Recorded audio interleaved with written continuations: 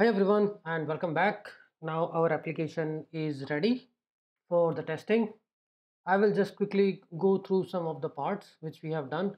So here we are merging the type definitions and the resolvers using GraphQL tools merge. This is a way where you can uh, merge all the type definitions and all the resolvers which are defined. So I'm merging like uh, these are defined in separate separate folders. Then we merge them.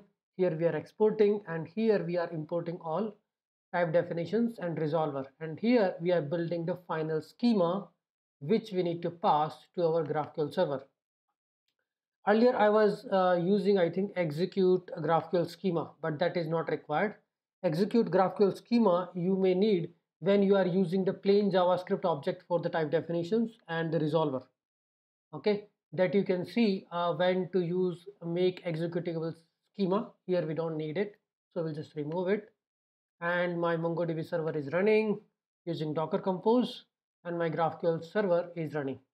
And these are my type definitions and my resolvers. These are same as what we have created, right? Now we can see this, how it is working. Like I wanted to create a user. Then let's see this. Okay, now I can run the mutation, right? Here you can see query mutations and all reload go to the documentations. Here you can see the queries users list of users and all. And let's say let me create few users. Okay now we can go with the queries users list queries. And here for the post i think we don't have a post right now. We can get the id you can also grab other arguments here we are looking for returning all the list of IDs you can see I got all the users the user 1 user 2 user 3 whatever the user I have created and all the post also whatever the post I have created. I'm just looking for the IDs right? Now we can create the new post let's say for this one for this ID so we'll go for the mutation which will talk about okay create a post add query here we need to pass the payload. So what all things are there? Title for the post and we have body and then I think published. This is helpful. This tool is providing you what all inputs you have. Published is a boolean so it is true. And there is author right? Author you have to provide author id and everything is good. You don't need these arguments right? Run mutation and we are able to create a blog. I mean you can create a multiple posts. Right now with this author with this post id we can try to do a get post by id and list all the post so we can go to the query and give me this particular post here what we need to do underscore id and this is uuid this is object id string. And author here i can look for name and comments. I can look for underscore id let's say.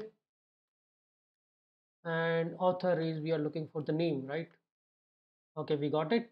Author name the information about this particular blog post. And if you are adding a comment then also you can get the list of comments because this is an array this is an object. Similarly we can do uh, update post delete post create user update user. These all are different queries. These all are different mutations right?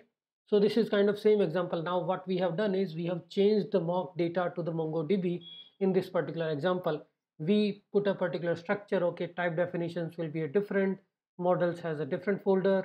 In the graphql we have a resolver folder the type definition folder having comments, post users right? Having different resolvers.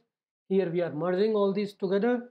And then here we are managing the database connection with the mongodb using mongoose building the schema and passing the schema to the graphql server. It takes a lot of arguments.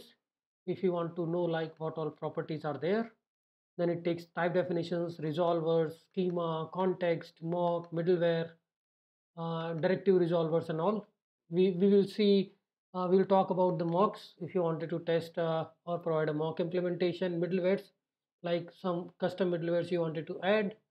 Context, context has a lot of things in it, like you wanted to pass the data source, it's like a key value store.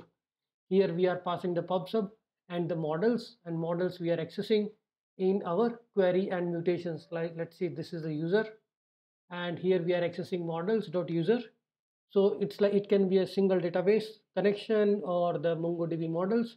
And we don't need to import these models everywhere. We are accessing it from the context. And this is the argument object where you are passing the payload or the IDs and all. So this is all about the GraphQL of Yoga GraphQL with the MongoDB.